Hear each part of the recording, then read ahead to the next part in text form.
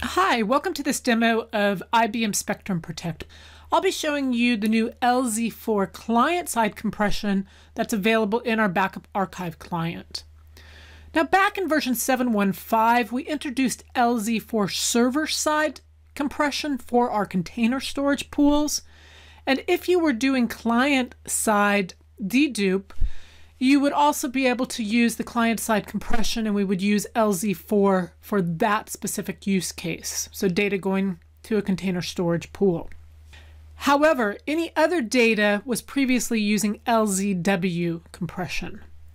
So in this release, 8.1.12, we're now utilizing LZ4 client-side compression for all types of storage pools and workloads. The only exception is LZW client side will be used if you have client side deduped going to a out of band deduplication traditional storage pool.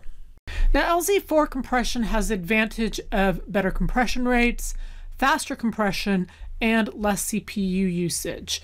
And depending upon the workload, we see all of these at 10% plus enhancements. And as you'll see in our demo, this is, of course, very dependent upon the type of files you are compressing.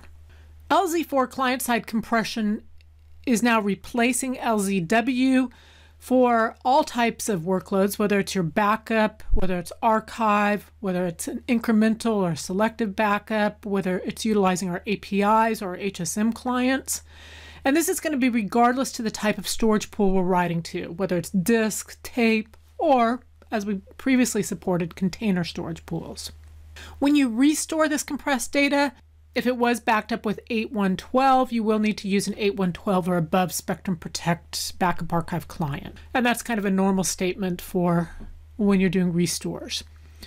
Of course, our 8.1.12 and above clients are still able to restore files that were backed up with the LZW compression, so we are backward compatible.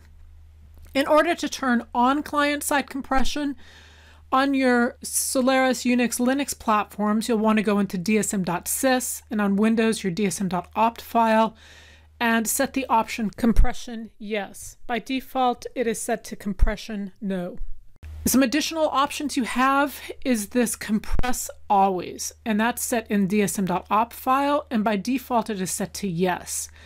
And what this does is if the file grows during compression, we will still send it as a compressed object, even though it might be larger if you have compress always equals yes. You can also set specific files to be included or excluded from compression by going into your include exclude file and either using the include.compression followed by a specific file name or a file pattern. And if you want to exclude them, you'd use the exclude dot compression. Okay, with that, let's go ahead and get started with the demo. We're going to be using both an 8112 and an 8111 client, and we'll be backing up the same workloads. That'll be a text file, then a JPEG file, then an MP4 file, and finally a file that's been tarred. And we'll look at the different compression ratios, and how the options impact each of these types of files. On this 8.1.11 Spectrum Protect backup client, if we look at the dsm.sys file, you will see that we have compression yes set for this specific machine. If we look in the dsm.opt file, you'll see we've taken the default, which would be compress always yes. So let's start by going to the 8111 client, and we're going to go ahead and issue a backup against this text file. You'll see in the backup results that this file was compressed by 75%, so we just sent about a quarter of the amount of data across. If you issue a query backup, the backup name dash detail, this will give you additional information, including the compression algorithm, which in our case was the LZW. It'll also show you that we did not do any type of client-side encryption, nor did we do client-side deduplication.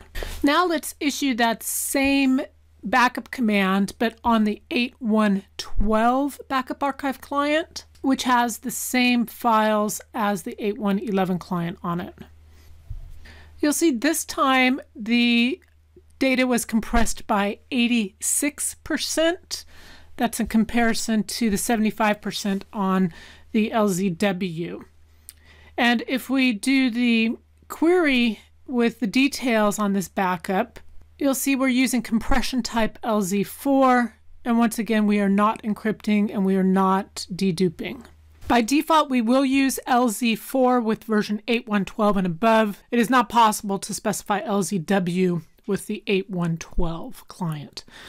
However, if you are restoring previously backed up files which were compressed with LZW at a lower client version, that'll be no problem. We are backward compatible.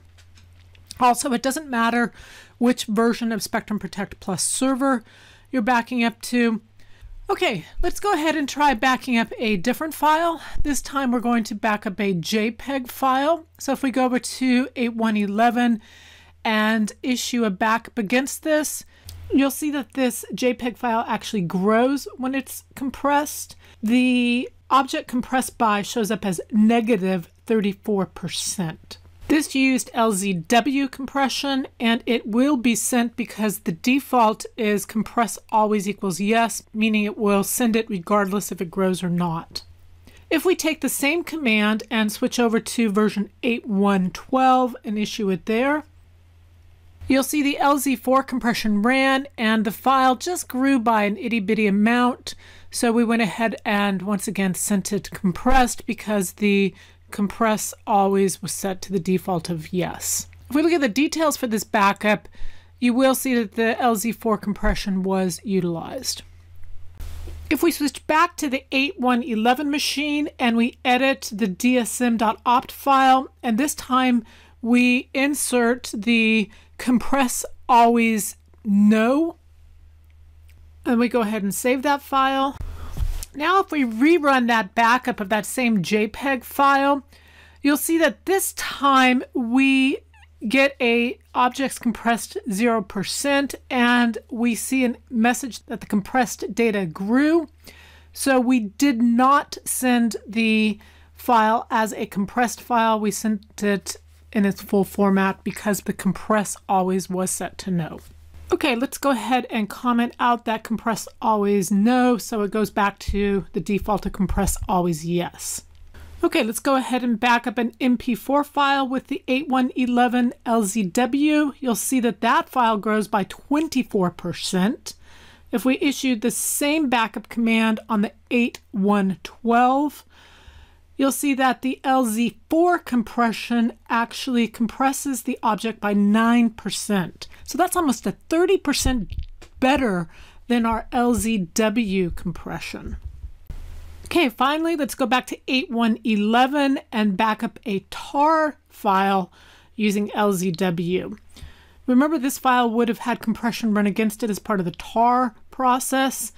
And so when we back it up with the LZW on 8111, you can see that it grows by 32%. So we get compressed by negative 32% showing up. If we switch over to 8112 and issue that same command against that tar file, this time you're going to see that we are able to use LZ4 compression and compress it by 1%. So once again, a increase in our compression ratio over the older LZW. So in summary, I've showed you how Spectrum Protect Backup Archive Client version 8112 now uses the LZ4 compression as its default compression algorithm for all types of data going to all different types of storage pools on the Spectrum Protect Plus server. LZ4 brings with it an improvement in compression ratios, utilizes less CPU, and is a faster compression than LZW. Thank you very much.